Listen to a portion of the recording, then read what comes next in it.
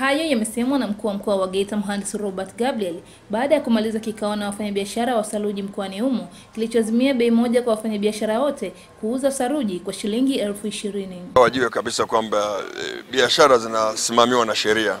Kwa hiyo mfanyabiashara, unapouza toa risiti, e, unaponunua pokea risiti yako. Kwa hiyo hili ni zoezi la kudumu. Kwa hiyo mimi ni, ni, ni watahadharishe pia wafanyabiashara. Tumeona changamoto hii pia kwenye simenti.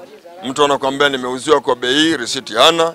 Ukiingia kwenye zaidi ripoti, taarifa ya TRA ya mauzo ya siku, haupati mwelekeo mzima wa fedha zilizopatikana, lakini na biashara iliyofanyika ambayo tumeiona baadhi ya vitabu. Kwa hiyo kikubwa ni tuendelee kuwa waaminifu, tuwe waadilifu katika kusimamia eh, unapouza, unaponunua, inakusaidia kuwa salama pia zaidi. Kwa upande wake meneja wa TRA mkoa wa Geita Hashim Ngoda anasema adhabu atakayokutana nayo mtu anayekwepa kutoa risiti, huku wafanyabiashara hao wakielezea adha iliyopelekea kupandisha bei ya saruji. Kwa mujibu wa sheria uh, asiyotoa risiti uh, faini yake akibainika uh, kutenda kosa hilo ni kati ya milioni tatu mpaka milioni nne na laki tano kwa kutotoa risiti moja. Sababu kubwa sisi tunayofahamu kama wanunuaji na wasambazaji ni upatikanaji umekuwa ni mdogo sana kulinganisha na matumizi.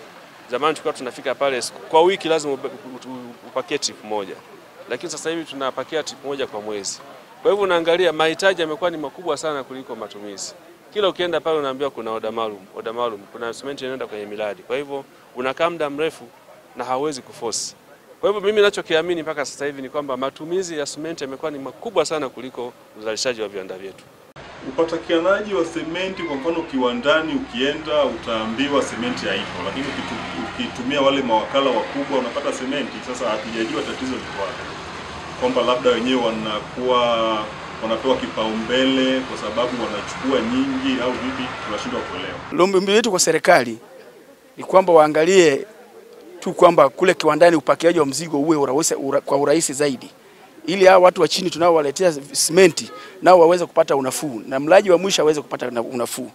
Jinsi ambavyo tutakavyoweza kupakia simenti kwa kiwandani kwa wakati, hata bei itapungua kama zamani. Kutoka hapa mkoani Geita, Mariam Shabani, EATV.